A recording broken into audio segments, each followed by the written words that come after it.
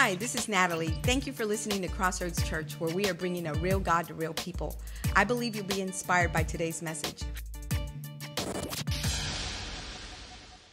Home for Christmas. I said, Pastor Marcus, what are we going to talk about at Christmas? And he said this I want you to talk about what Jesus looked like in your family growing up. Now, I had an exceptional father. My father is probably the man who's most like Jesus that I know, period. And I recognize every day that I'm standing on the shoulders of a giant. Um, and just I wouldn't be where I am today apart from the input that my father gave me. Um, you know, and it's it's just people people often say this, and I'm not saying this to brag, but they're like, "How did you get so much knowledge?" I'm like, I literally grew up with Jesus, basically, my dad. So I'm blessed with that. Um, but as a kid, believe it or not, I was kind of a punk. I was. And the most memorable Christmas experience I ever have, and I've told this story before, so some of you are like, just indulge me here. You've already heard the story, but I'm going to make a different point today than I made before, okay? I remember it was our last year, we were growing up as missionaries in Guatemala, Central America, where Pastor Natalie's going to be taking the team next week. So I have a place in my heart for Guatemala. It was our last year in Guatemala. I was about to graduate high school. And my dad announced that, like every Christmas, we were going to go help poor kids and give them gifts on Christmas. Now, I was super sentimental because I'm like, I don't want to leave Guatemala, but we have to leave Guatemala. And I was like, Dad, it's our last Christmas in Guatemala. Can't we just do a thing just with our family? he's like, No, no, we're going to go and help the poor kids. And I was like, I'm sick of helping poor kids.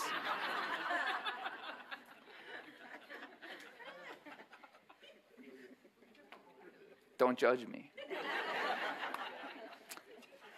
And I'll never forget this because dad, my dad, he's got this face that when he turns on this face, Jesus probably had a face too, right? Dad had a face that, like, most of the time, dad's like really cool. But when dad turned on this face, it was coming. And he looked at me and he kind of gently put his hands on both shoulders and he said, Joel, and he quoted a verse from Proverbs. He said, When you give to the poor, you lend to the Lord, and the Lord will repay it.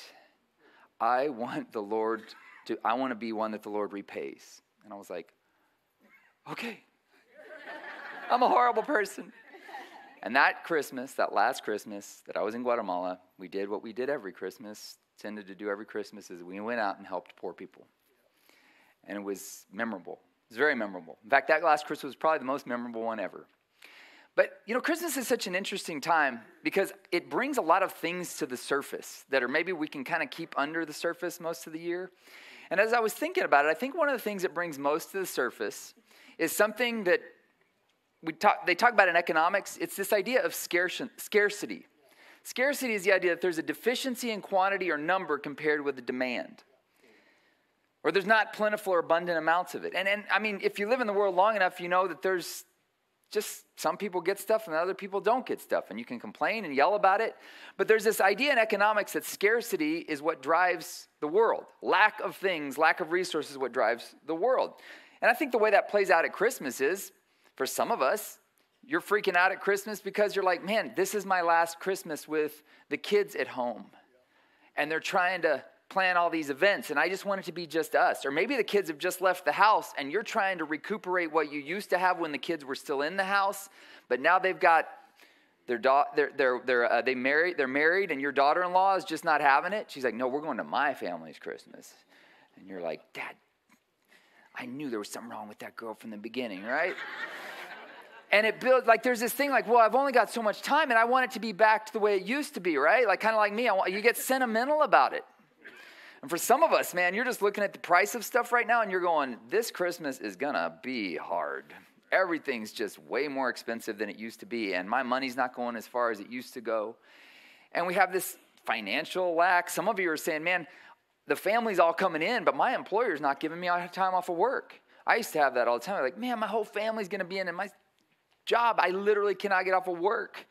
And so, like, I had a small window at Christmas where I could spend with the family, and I'm, just, I'm i get kind of resentful of my job because I'm like, oh, you know, there's just this lack of time, there's lack of money, and I think we all kind of acutely feel it at Christmas because for a lot of us, we've got kind of an idea in our mind of what the perfect Christmas looks like. You know, it's back the kids back at the house like they used to be, but now you hardly ever see the kids anymore. Or it's, you know, we used to give so many gifts. All the kids used to get 10 gifts, but now, like, we're going to be lucky if they get one, especially because gifts now cost, iPads are expensive. You're like, yeah, you can get one gift at a $500 price tag, right? So it, there's this scarcity. But what's wild is as you read through the Bible, God does not seem in any way fazed by scarcity, by the lack in the world. He just doesn't seem fazed by it. In fact, when, sometimes when I look at how God uses, allows people to use money, I'm like, God, that was really wasteful that you let them do that. But He doesn't seem too worried about it. Sometimes I'm like, God, I've got a way to save you some money. you ever done that? You're trying to be a good steward and you're like, God, I got a way to save you some money. And he's like, I don't, I don't really care. I mean, I think that's what he's saying because he like doesn't let me save him money. We have this, this idea that we lack, but the thing is, God doesn't lack. In fact, if you think about it, you know, in Hebrews, it says, by faith we see that what was created was made from nothing. When you have the ability to take nothing and make it something, that's pretty much ultimate power. Like you can take nothing and you can go, let there be something, and it is just by the word you're spoken. So God, He kind of makes it clear throughout the Bible. There's this one verse I love in Psalms where He says this he says, I have no need of bull from your stall. He's like, I don't need your bull. Or of goats from your pens. For every animal of the forest is mine, and the cattle on a thousand hills. Bill pointed out earlier, he even owns the hills. I know every bird in the mountains, and the insects of the field are mine. If I were hungry, I would not tell you, for the world is mine and all that is in it. He was saying, You guys like you're sacrificing and stuff, and you're making these sacrifices, but I, you know, I don't, those sacrifices are for your sake, not for mine. I don't need your stuff. I got it all. And I have to remind myself of that sometimes because one of the core values I, when, when they gave me my daughter, you know, uh, if you, you know, when their first kid comes along and you have the baby, it's the weirdest moment when they put the kid in the, in the uh, car seat, buckle him up, and then say, okay, you're free to go. And you're like, is anybody going to supervise us? Or like, I just take this thing home and like I'm in charge of this thing. Like it was a scary feeling. And but I remember when we got home, I started getting really serious. I said, you know, what is it that I want to show are the core thing? Like what is what do I want to show our daughter that our family is about? A core value statement. And I came up with four things. One of them is wisdom, which is just rightly applying God's word to your life so you can avoid unnecessary suffering. Another one is humility, which clearly I'm good at. Um, just kidding. Humility is just having a right, a right perspective on who you are. It's not, you know, looking down on yourself or belittling yourself. It's just saying, here's what I am and here's what I'm not by the grace of God. And then the third one is courage. You know, I've, you guys have talked, I've talked to you guys for years about how much I've struggled with anxiety and fear, and just I've just learned you just got to do it afraid. Like fear ain't going to go away. The only way to beat fear is to just take it in small doses. And the fourth one is this, what I call open-handed living living with open hands. And that's what I want to talk about today, specifically the idea that because of God's incredible abundance that He has for us, we as Christians can live with open hands in a world that's actually quite closed handed. And I think open handedness has two elements. The first one is surrender, and the second one is generosity. So I want to talk about these two elements because I think you have to have both of these. Because open handed living isn't just being, here, let me give you this. It's also saying, God, all this stuff you've put in my hands is available to anyone, and you can even take it back if you need to. I'm not going to hold it too tight. I love some Corrie Ten Boom. She was a survival of the Holocaust. She said this. She wasn't a Jew, but she protected Jews and got sent to a concentration camp. She said, Hold everything in your hands lightly. Otherwise, it hurts when God pries your fingers open. And how many of you had an experience of that? That something so valuable to you, it was just, it just felt like God just ripped it out of your hands.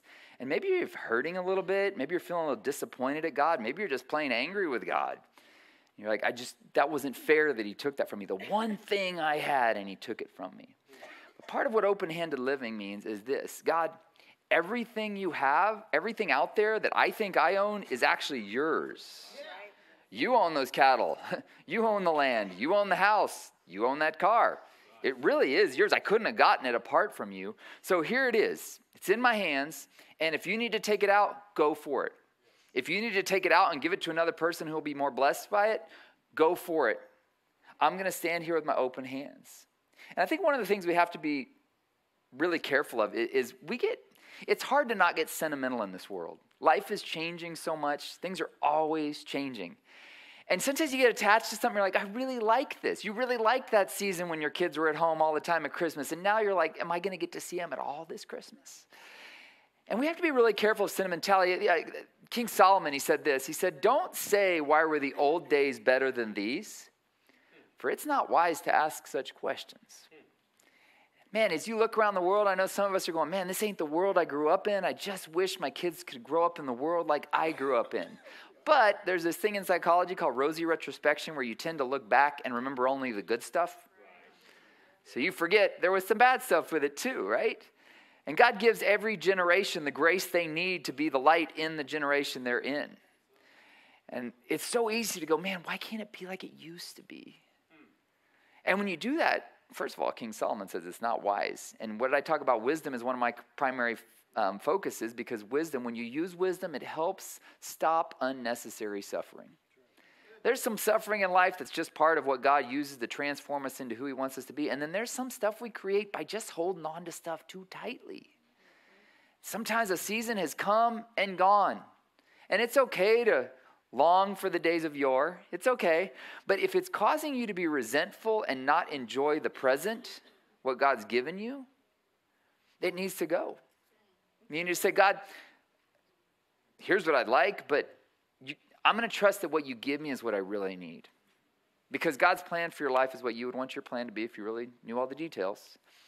And sometimes you just have to go, God, this is just not what it was supposed to look like. But here, I'll take what you, what you give me right now. And when you're grateful and content and you surrender to His plan, you give up the life that you wanted, maybe for the life that He had planned for you. And you'll find that on the end of it, you'll go, wow, that was really what I needed. And this has been a battle for me all the time because you know, I had some lofty dreams for myself in my 20s. And one of the things that created the greatest amount of frustration for me, I realized that leading up to when I was about to turn 40, was I looked back and I had set some goals for myself in my 20s that were not realistic based on what I wanted for my life. I wasn't married back then. I didn't have kids back then.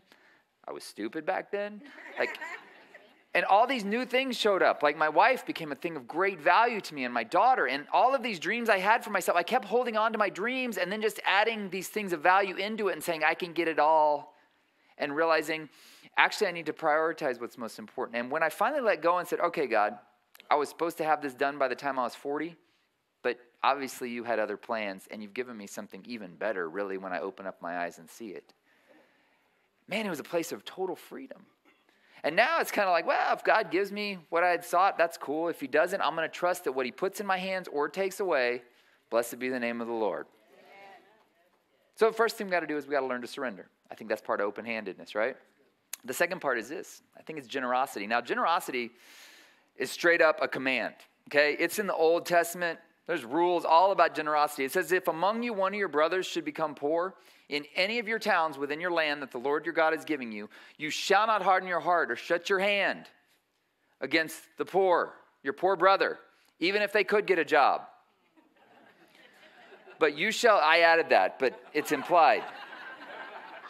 But you shall, and I'm going to explain why I implied that in a second. You're like, don't be adding stuff to the Bible. It, later on, it explains it, okay? But you shall open your hand to him and lend him sufficient for his need, whatever it may be. That was the law.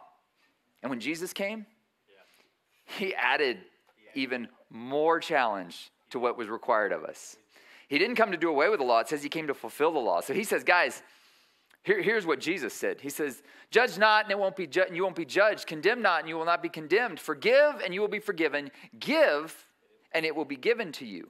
Good measure, pressed down, shaken together, running over, will be put into your lap. For with the measure you use, it will be measured back. The cool thing Jesus is saying is you get to decide how generous people are with you. You're the control valve. If you're open handed and giving and giving and giving, you can count on it that God's going to say, hey, that's somebody that I can trust to give to because it's never going to stay with him, it's always going to go out. And you become a resource for being life giving to everyone around you because he's like, I can trust that when it goes here, he's not going to shut off the the pipe, right? He's going to go, all right, that must have been given to me to give out to others. And he says, you get to, you get to decide. And, and this is what's really tricky about this world because we live in this world where scarcity drives everything. But God says, no, the key to literally solving all of the problems in the world is actually open handedness. Let me become the provider. So, a couple weeks ago, I went to London to be part of this conference. It's called the ARC Conference, the Alliance for Responsible Citizenship. It was a bunch of global leaders, and nobody's like me, who got together and they basically laid out, they said, look, here's the challenges we face in the West. We've got poverty, we've got infant mortality. A lot of these things are improving, but they're like, how can we solve these issues? They said environmental issues, we, you know, where, whatever your take is on the environment, it is changing. I think it's cyclical, but whatever your take is on it, but we do need to care for the environment. And what was fascinating to me is basically all the stuff they laid out that we need to do to restore society is all the stuff God laid out right in Genesis. Get married, have kids, get a job, you know, all those things. Take responsibility.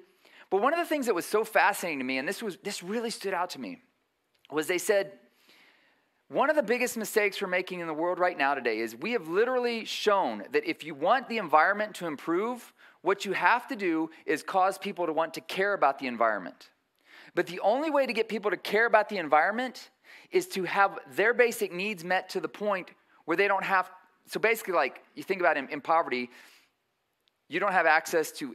Anyways, hold on one second. They said basically the best way to do it is to give energy as cheaply and abundantly as possible. So that the poor don't have to go down and cut down a forest to make it through the summer, through the winter in the cold. So the way to save from deforestation is to make energy as cheap and abundant as possible. We have done the opposite recently. We didn't have, and, and here's the thing about God, God's order it's all higher order thinking. He says, You're thinking this level, but I'm saying if you'll do this, the outcome of it will be way better out here. So we're thinking scarcity in this world, where we're going to run out of the resources, we're going to this or that, or and what's consequently, it's really easy for us in the West who are wealthy and stuff to go, well, we can pay a little more for gas, but we don't realize what's happening to people in the third world or developing world when they're having to pay that for gas. They're actually going destitute. So they said the best way to raise people out of poverty is to give them energy as cheaply and abundantly as possible. They landed on nuclear, and people are like, nuclear, nuclear. It's actually the most the best source of energy bang for your buck, and it's actually quite clean when you don't put it in tsunami zones. So, but what I thought was fascinating about it is they said it's, it's abundantly giving to others what we're trying to hold back on that actually causes them to rise up and then go, oh, all my basic needs are cared for. I don't have to go down and chop down wood. I've got a gas stove. I actually, they actually start to naturally clean up the environment around them and care about the environment. Now, that's higher order thinking, and our politicians aren't higher order. They just think, well, whatever. But if it's crazy that God already laid all this stuff out. And he says, guys, open handedness and abundance and giving to the poor. And when I say giving to the poor, this is what's really dangerous about this. Giving to the poor doesn't mean let me give you a handout. It means let me walk with you as you raise yourself up out of the poverty. And this is what's really dangerous about compassion. A lot of people get their kicks and giggles from being the person that bails someone out.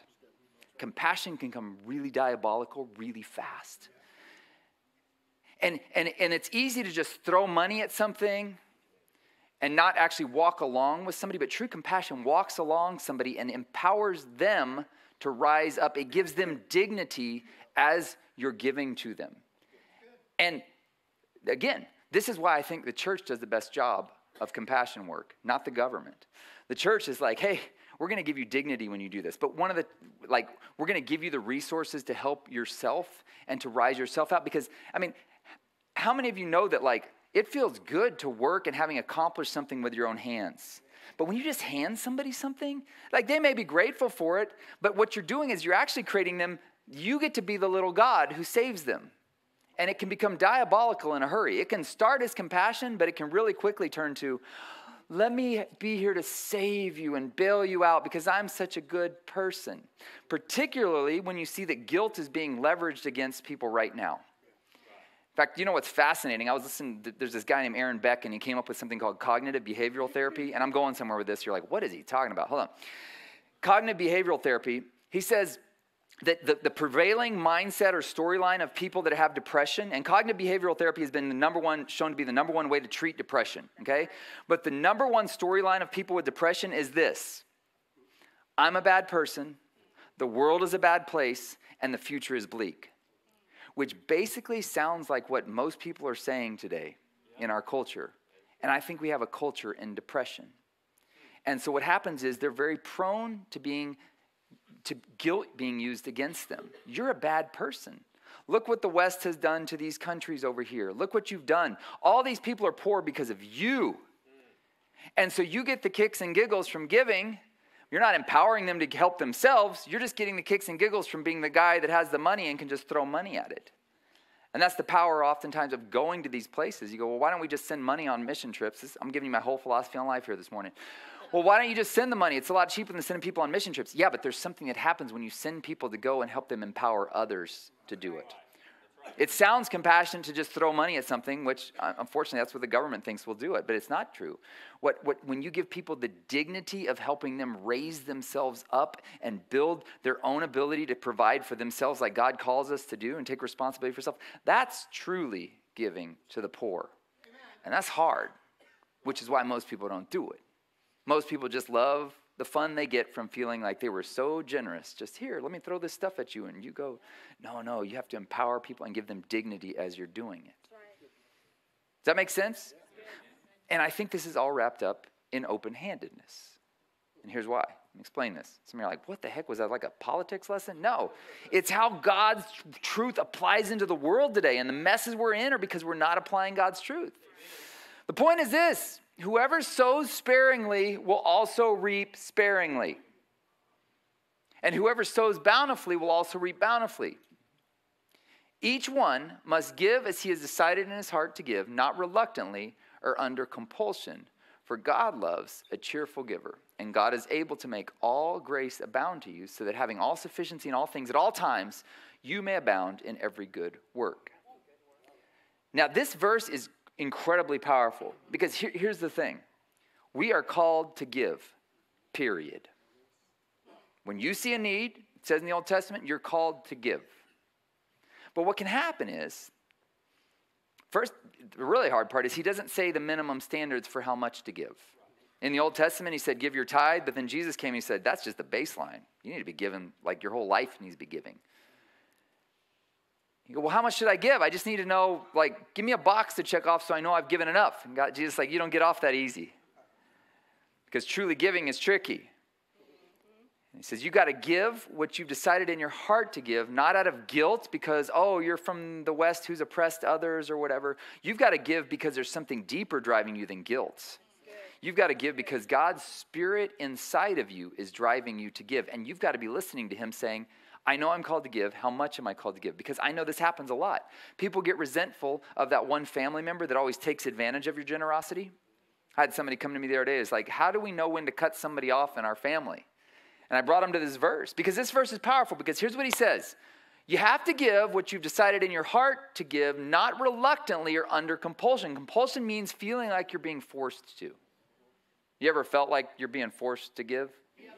Taxes? I'm just kidding. Each one of you must, so he's saying, you don't get off from not giving. I'm sorry you don't. But here's where you start. How much can you give without feeling resentful about it? And this will save your marriage right here, folks. Sometimes you're like, I just, man, she left dishes in the sink again. I'm sick of cleaning these dishes. Part of your job? This never happens in my house, just for the record.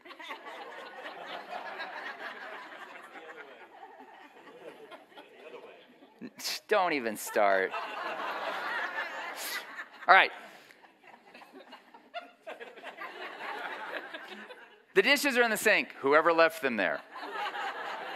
And you're like, oh, they're in there again. You know, I'm not going to clean all those dishes. But what I started doing is I was like, all right, I want to give because I love my wife. Just just say that possibly maybe she left the dishes accidentally. so I say, I want to give because I love my wife. But I don't want to wash all those dishes. So I ask myself, how much can I give right now without becoming resentful? I'm like, you know what? I can clean that pot and a couple of those plates. I clean them, put them away, and then I walk away. And you know what's crazy? Once I get myself together get changed after work or whatever. Maybe I'll come back and be like, yeah, I can do a couple more. And you do a couple more. But I'm not doing it resentfully, like, dang it, my wife.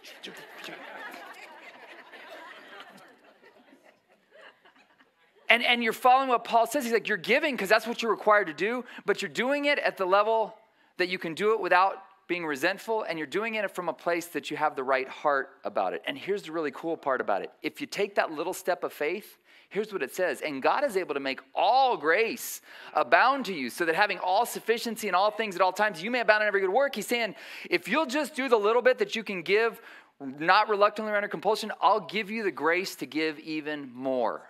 But it starts with your f- first little step.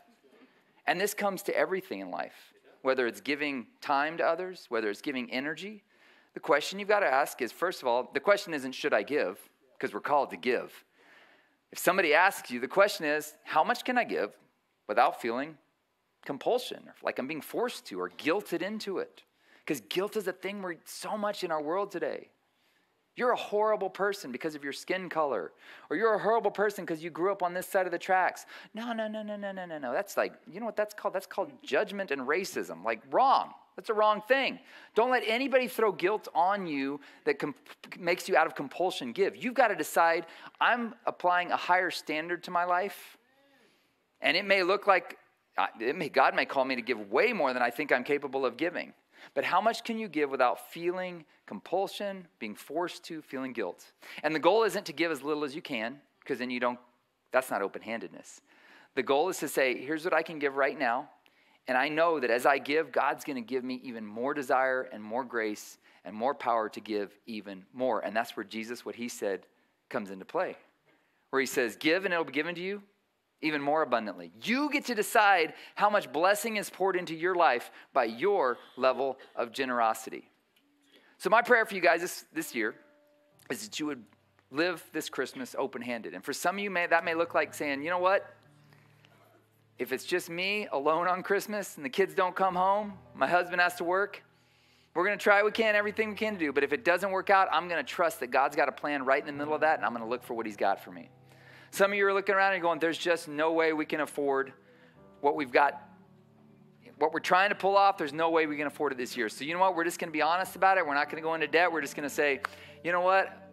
God, we're going to trust you're going to provide for all of our needs, and we're going to take what we can give right now. And some of you are going, I don't think we even have any uh, money to afford to give this year. Well, I do have that little bit I was setting aside for the motorcycle, but, and maybe God's saying to you, hey, give that up. Give that up. And then don't be surprised if later down the road he gives you a blessing that's even greater than what you thought was going to be the blessing. You don't do it for that reason. You do it because we're called to give. It's a command as a Christian. But I pray, man, as, we're, as we live open handed this year, not trying to hold on to what used to be or what, what we thought should have been, or not trying to hold on to you know, how much money we think we should spend to make a good Christmas. We just say, God, right now this year, I'm going to relax. I'm going to chill out. You don't need my bull, so I ain't going to give you no bull. I'm just going to trust that what you give me this year is going to be enough and that what I'm going to do this year, what, what's going to come this year, I'm going to trust that your grace is sufficient in every situation. You're right there with me. And that's what I think I learned from Christmas. With my dad growing up, my mom, is open handedness. And that's my prayer for you guys that, man, that, that tendency we all have to think of that in the worldly way of scarcity. There's not enough. There's not enough to realize my dad owns the cattle on a thousand hills, and he owns them hills, and he owns everything. And in one touch of his favor, he can give me everything that I need. So I'm just going to relax and enjoy celebrating his birth that he came to earth this year. You guys receive that? Let me pray for you. Father, we thank you so much that you are our provider. And we thank you, Lord, that when we live with open hands, it's really an act of faith. It's us showing of stewardship, of us showing, Lord, you can provide for all of our needs as we just become a conduit that you give through, and then we use that to help others. So I pray that we would just continue to walk in that. If you're here this morning, you have not given your life to Jesus, I'm going to give you a chance in just a second to say a prayer. And when you say this prayer, if you mean it with all your heart, God is going to come and He's going to forgive all your sins. He's going to wipe away your past. He's going to set you up with an eternal address with Him there in eternity. So let's all say this prayer together Lord Jesus, we repent of our sin. We turn from our way, we turn to your way. Help us walk in your truth. Amen. Hey, if you just said that prayer, welcome to the kingdom of God. We've got some resources for you in the back. Also, this is the last week to sign up for our Sustainable Discipleship Program. This is like next level. If you want to take your walk with God to the next level, it is not for the weak of heart. But if you're one of those that say, man, I really want to know what's in the Bible, I really want to get engaged with this, this is the program for you. Sign up is also back there at the back booth. You guys stand. You are dismissed. Have a wonderful week. If you are ever in the Seguin area, come visit us on Sunday mornings at 9 or 11 a.m. Or you can just download our app and receive our weekly messages right to your phone. Just text CC Seguin to 77977 and click on the link that you receive. May the remainder of your week be enriched with God's favor and blessings.